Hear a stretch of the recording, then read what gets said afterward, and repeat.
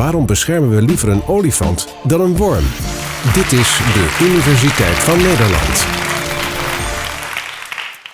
In 2012 verscheen er een foto in de krant van Juan Carlos. Dat was op dat moment de uh, koning van Spanje.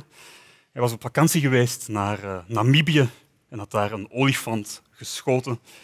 Uh, en dat was een groot schandaal in de pers. Er waren verschillende redenen waarom dat een groot schandaal was. Maar een van de redenen was dat uh, Juan Carlos op dat moment ook de voorzitter was van de Spaanse afdeling van het Wereld Natuurfonds. En zoals u weet is een van de speerpunten van de campagnes van het Wereld Natuurfonds net de bescherming van diezelfde olifant. Maar waarom eigenlijk? Waarom willen we olifanten beschermen? En uh, ook uh, andere grote charismatische diersoorten zoals uh, neushoorns of gorillas of tijgers. Waarom willen we bijvoorbeeld niet de Lake Pedder regenworm beschermen? Ik weet niet of er hier iemand ooit al van de Lake Pedder regenworm heeft gehoord. Iemand?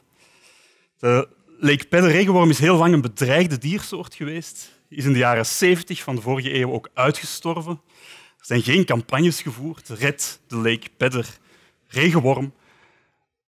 Maar waarom olifanten wel en wormen niet? Ik denk dat dat veel met uh, de geschiedenis te maken heeft. Ik ben zelf historicus van achtergrond. En ik denk dat de reden waarom we olifanten willen beschermen veel te maken heeft met precies de reden waarom uh, Juan Carlos het interessant vindt om op diezelfde olifanten te gaan jagen. Uh, ik ga even met u terug in de tijd, meer dan 100 jaar terug, naar de jaren 1880. En toen gingen uh, twee neven, uh, Paul Sarrazin en Frits Sarrazin, die gingen naar Ceylon, dat is het hedendaagse Sri Lanka. En wel, de foto lijkt een beetje op wat je net gezien hebt. Ehm, zij waren daar om natuurhistorische objecten te verzamelen.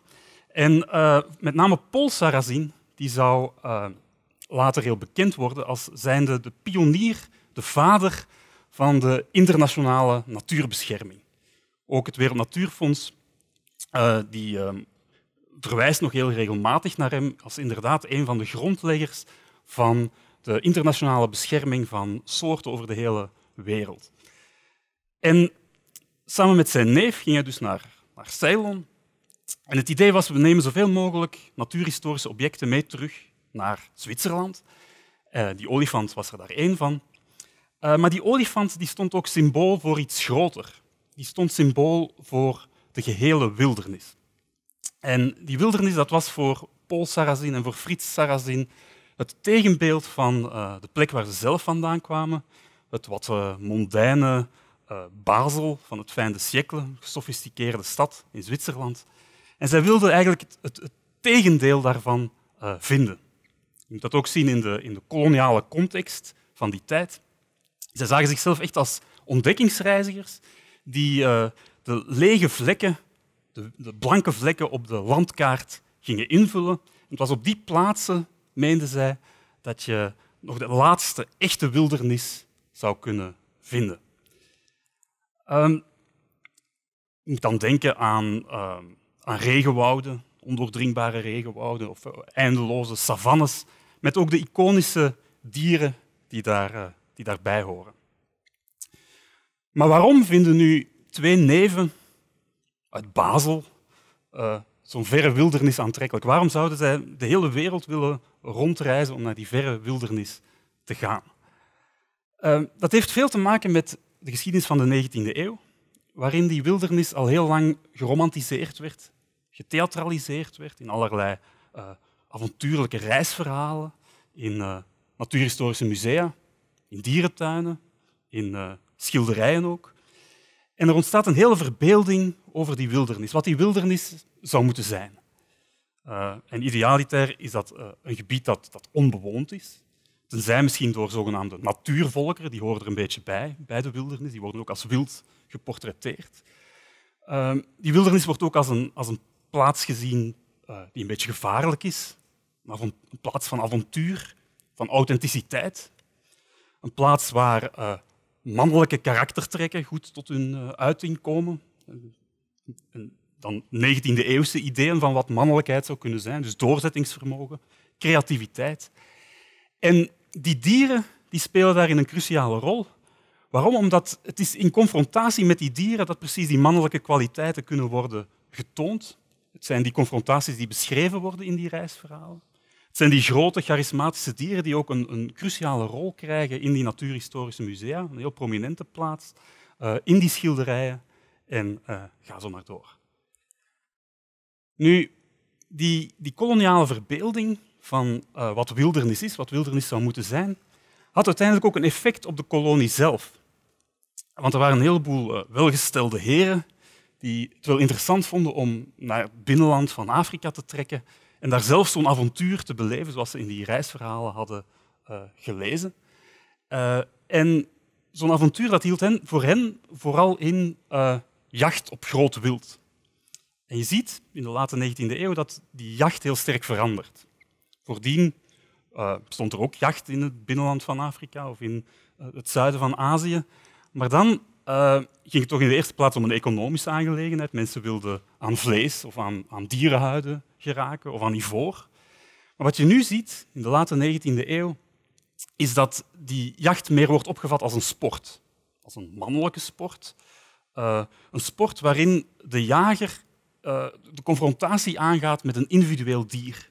Het idee is ook dat dat allemaal iets, iets avontuurlijk is en dat die jager en die prooi ehm, een gelijke kans hebben. Dat het gaat om een eerlijke, een eerlijke strijd. Dus het idee is ook dat je jaagt op volwassen dieren, bij voorkeur op mannetjesdieren, op het toppunt van hun kracht. Het idee is ook dat je niet vals speelt, dat je uh, geen gif gebruikt of geen vallen zet, maar dat je enkel met het geweer uh, schiet op die dieren.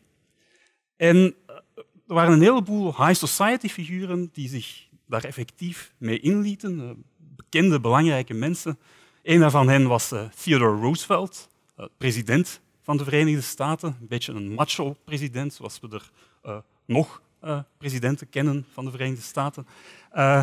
U, u, ziet hem hier samen met zijn zoon, Kermit. En hij heeft net een buffel neergeschoten. Ehm, hij heeft op die expeditie duizenden dieren geschoten die naar de Verenigde Staten zijn verscheept. Vele zijn daarvan in, in natuurhistorische musea terechtgekomen. Andere zijn ook als jachttrofeeën aan de muur geëindigd. En het is hier dat uh, mijn object ter sprake komt, want dit is mijn uh, persoonlijke erfstuk. Het komt van net zo'n buffel. Uh, ik zal het even laten zien. Het is mijn grootvaders, mijn grootvaders stuk. die had via een, een kennis zo'n trofee in handen gekregen. Uit Belgisch Congo komt het helemaal. Mijn ouders hebben het een tijd boven hun tuinhek uh, hangen gehad. Aanvankelijk was het ook veel, veel groter. Het ging om een volledige schedel met dus de horens eraan. Tot op een dag uh, dieven zijn gekomen, het hebben stuk geslagen en enkel met de horens aan de haal zijn gegaan. Wat toont denk ik dat er toch nog altijd, tot vandaag, een soort fascinatie is voor dat soort trofeeën. En ook voor het natuurbeeld, denk ik, dat daar uh, achter zit. Die horens hangen nu ongetwijfeld ergens in een boerderette in het noorden van België. Maar waarom zijn op een bepaald moment die jagers nu natuurbeschermers geworden? Waarom zijn ze zich met bescherming uh, gaan bezighouden? Wel, in het begin van de 20e eeuw zagen die jagers ook dat het groot wild waarop ze zo graag jaagden sterk in aantal afnam. Er waren allerlei redenen voor die afname. Uh, om te beginnen natuurlijk het feit uh, ja, dat zij in toenemende mate jaagden op die dieren. Uh, maar er waren ook een heleboel andere redenen. Bijvoorbeeld dat er steeds meer gebieden aangesloten werden op de koloniale economie, dat er nieuwe wegen werden aangelegd, dat er nieuwe landbouwmethoden werden ingevoerd, dat de levenswijze van de lokale bevolking veranderde. En dat zette toenemende druk op die grote, charismatische soorten. En je ziet dat er bij mensen zoals de Roosevelts of zoals de Sarrazins een soort nostalgie ontstaat over het verdwijnen van de wildernis en die grote soorten die daarbij horen. Ze krijgen het idee dat de beschaving die hen daar heeft gebracht om die, uh, die wildernis te ontdekken, dat diezelfde beschaving eigenlijk die, die wildernis onmiddellijk vernietigt. En uh, ze gaan zich inzetten om die wildernis vanaf nu te beschermen En het zijn net die jagers op groot wild die uh, een belangrijke groep vormen binnen, de, binnen die beschermingslobby. Dat is ook logisch, want eigenlijk wat ze wilden beschermen was uiteraard ook hun hobby. Ja? Als er geen groot wild meer is, dan is het onmogelijk om er nog op te jagen. Uh, dus het zijn die mensen die beginnen te pleiten voor, voor jachtwetgeving, voor de inrichting van natuurreservaten. En die natuurreservaten zullen dan later ontwikkelen tot de nationale parken, zoals we die uh, nu kennen. Uh, een van de meest bekende, van de meest iconische van die nationale parken is waarschijnlijk wel de Serengeti National Park. Ik denk dat iedereen zich daar wel ongeveer een beeld van kan vormen. Ligt in het hedendaagse uh, Tanzania. was vroeger een Duitse kolonie, dan een tijd een Britse kolonie. Is bekend om zijn, zijn grote kuddes met gnoes en, en zebras en, en olifanten. Heel vaak besproken in allerlei natuurdocumentaires. Uh, ook in kinderfilms, denk aan uh, The Lion King bijvoorbeeld. Het speelt zich af in een Serengeti-achtig uh, landschap. En wat je ziet is dat dat nationaal park echt de, de projectie vormt van koloniale ideeën van wat wildernis zou moeten zijn. Het is echt gevormd naar die ideeën. Nu zou je zeggen, ja, daar valt niet veel aan te vormen aan een wildernis, dat ligt daar gewoon. Maar dat is niet helemaal zo dat is eigenlijk heel actief gemanaged. Om de Serengeti te krijgen zoals je het nu hebt, waren er actieve ingrepen nodig. Een van de dingen die bijvoorbeeld gebeurde, is dat de lokale bevolking, want er woonde wel een lokale bevolking, de Maasai, dat die uit dat gebied moest worden gezet. En dat die de toegang werd ontzegd tot bepaalde delen van dat park. Iets anders wat gebeurde, is dat uh, op gezette tijden het park in brand werd gestoken. Want anders zou het toegroeien en zou je die uh, grote dieren niet meer over een grote afstand kunnen zien. Er moest ook een toeristische infrastructuur worden ingericht. Dus je ziet, een heel actieve management uh, is nodig. En wat je krijgt is een soort natuur als een uh, theater, waarin de dieren de acteurs zijn en de toeristen de toeschouwers. En uiteraard, de jacht met het geweer is wel verdwenen in die nationale parken, maar wat je nu ziet is een jacht met het fototoestel. Uh, een jacht met het fototoestel dat heel erg voortbouwt precies op die jacht met het geweer. Uh, de Big Five van het safari-toerisme, de, de, leeuw, de luipaard, de buffel, de olifant en de neushoorn, dat zijn precies die, die dieren die centraal stonden in die 19e-eeuwse jacht. En het zijn ook die dieren die heel centraal zijn gaan staan in de beeldvorming van de internationale natuurbescherming tot op de dag van vandaag. Uh, is er dan echt niks veranderd in die 100, 150 jaar? Is de natuurbescherming van vandaag uh, nog net hetzelfde als die ideeën uit die koloniale tijd? Uh, natuurlijk is er wel een en ander veranderd. Ehm, als je kijkt naar de natuurbescherming vandaag, dan zie je dat bijvoorbeeld heel veel nadruk wordt gelegd op biodiversiteit.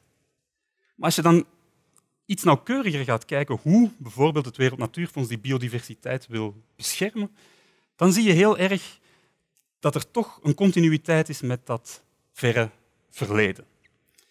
Eén manier om die biodiversiteit te beschermen is via wat het Wereld Natuurfonds noemt biodiversiteitshotspots. Dat zijn plaatsen met veel biodiversiteit en die worden aangeduid op de kaart en daar gaat de meeste aandacht naartoe. En als we dan gaan kijken welke plaatsen dat zijn, dan zijn dat in belangrijke mate precies die plaatsen waarin de koloniale verbeelding, de wildernis, uh, gesitueerd was. Bijvoorbeeld in het binnenland van Afrika, in de Serengeti. Een, ander, uh, een andere manier, uh, volgens het Wereld Natuurfonds, om dan precies die hotspots te beschermen, is via zogenaamde symboolsoorten. Is via die symboolsoorten dat die hotspots kunnen worden beschermd, zeggen ze. En u kan al raden welke soorten gelden als symboolsoorten. Dat gaat uiteraard om olifanten, het gaat om neushoorns, het gaat om gorillas, het gaat om tijgers. Um, op de website van het Wereld Natuurfonds staat dat we via die dieren de wow kunnen beschermen. En wat maakt nu dat die dieren precies een wow-factor genereren? Ik denk dat dat veel te maken heeft met die hele lange geschiedenis waar ik het zo net over heb gehad. Dus waarom beschermen wij liever olifanten dan wormen? Volgens mij is dat de erfenis van een hele lange geschiedenis, een geschiedenis die ook een koloniale geschiedenis is, en een geschiedenis waarin charismatische zoogdieren, zoals olifanten, het voorwerp geworden zijn van een geritualiseerde jacht en uiteindelijk ook het symbool van een onaangetaste wildernis. Dank u wel.